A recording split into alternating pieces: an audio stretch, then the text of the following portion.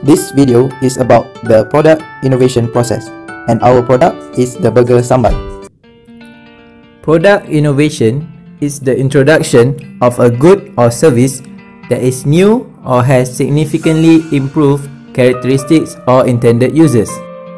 Objectives At the end of this video session, viewers will be able to increase their understanding on the process of product innovation, create a burger that is offered to suit Malaysian taste, innovate the use of sambal as a condiment. Step 1 Idea Generation Idea generation is the creative process of generating, developing, and communicating new ideas where an idea is understood. Step 2 Idea selection. From all the ideas generated, we need to choose one that can be done. The ideas selected can be focused and improved by the group until a final idea is formed. The idea for the product innovation is to fuse together Western and Malaysian food and create the burger sambal.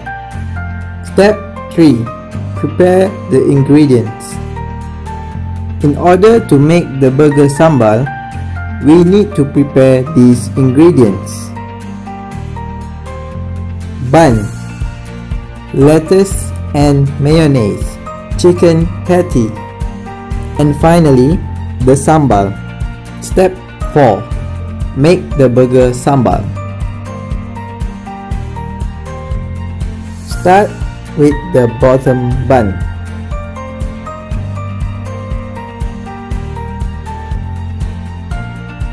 Add the lettuce and mayonnaise on the bun.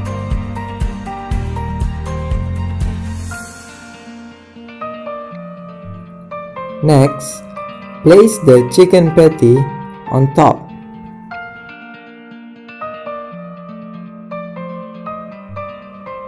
And now, spread some sambal on the patty.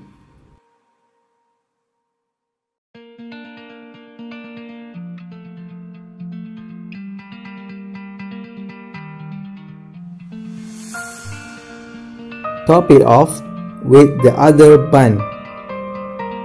The burger sambal is complete. Step 5.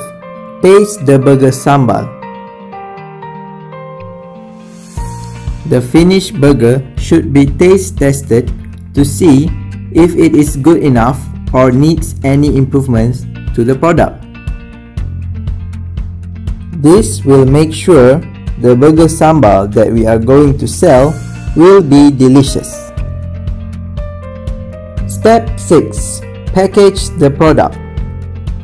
The packaging is the wrapping material around the burger sambal that serves to make the product marketable and keep it clean.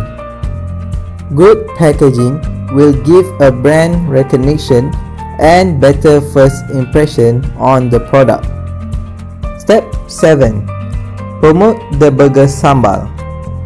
As a part of the innovation, we promote this burger sambal by using the social media apps. We use WhatsApp, Instagram, and Twitter to attract customers. Step 8. Collect orders.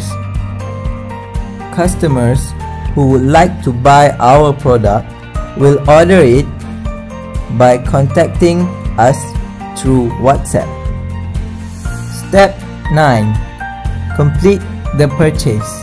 The purchase is completed when the customer has received the burger sambal and made the payment. Step 10. Gather feedback. We need to gather feedback from the customers. The feedback will help to identify any problems and room for improvements on our product.